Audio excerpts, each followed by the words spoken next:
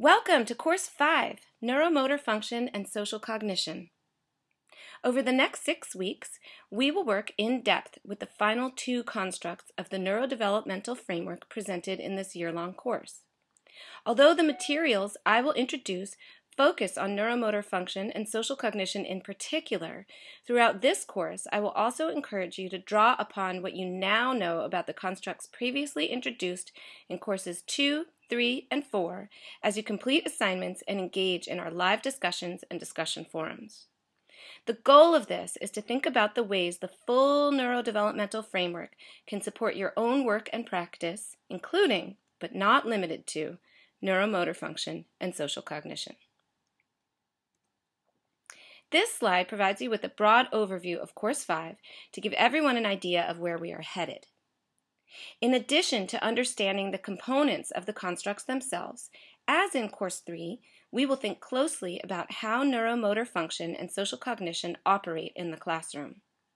In what ways might these constructs lead us to uncover hidden demands in learning tasks and assignments?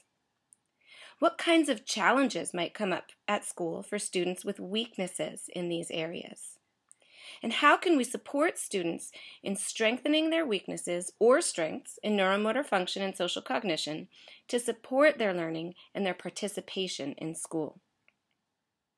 Throughout the course, we will also emphasize the connections across constructs to better specify challenges that arise for our students with weaknesses in one or more areas. For example, how might a neuromotor weakness constrain a student's ability to express himself through written language? How might a student's strength in social cognition obscure a weakness in memory or attention? These kinds of questions are complex, and so we will talk about them and think them through together. And finally, the activities and assignments for this course have been designed specifically to help you think through these connections as you deepen understanding of neuromotor function and social cognition. Assignments for Course 5 follow a similar format and structure to the assignments you completed in Course 3. Each week, you will have either a discussion forum or quick write assignment to complete based on the readings and mini lecture for that week. In addition, each week you will have one additional activity or assignment that will address the material presented and help you connect it to your own work.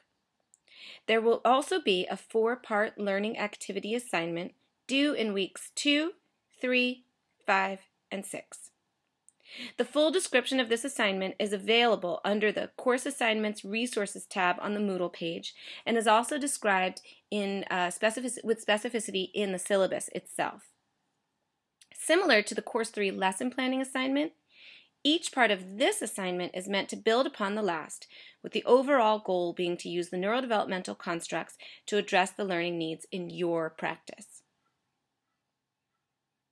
What's different is that this assignment asks you to focus on a target student rather than the whole class. And you will also be guided to use your knowledge of all of the constructs to support that target student. Of course, we will talk about all of these assignments as the course progresses, and we can adjust the aspects of the assignment for those of you that are not currently working directly with students to make sure that the assignment itself is as meaningful for you in your own practice as possible. And finally, we'll be consistent with the schedule of assignment due dates and collaborate sessions we've established already in this course. All assignments for the week will be due on Sunday nights, and the collaborate sessions will be held on Wednesdays from 6 to 7. If you're unable to attend a session, just as before, please view the recorded session afterwards and post a discussion forum response by Sunday of that week. For the first three weeks of this course, we'll focus on the construct of neuromotor function. The mini lecture slides for this week will introduce the features and components of neuromotor function, and the assignments will guide you to begin considering the role of neuromotor function in your work with students. In week two, we will consider the hidden challenges related to neuromotor function that are embedded in activities and common classroom assessments. And in week three, we will look at ways to address neuromotor function demands in the classroom by either bypassing weaknesses, developing skills, or building upon strengths. Week one learning objectives are as follows.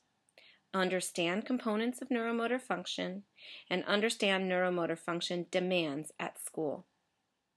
When you've finished watching this mini lecture, please then click on the link to the mini lecture slides for this week that present the content, the components of neuromotor function.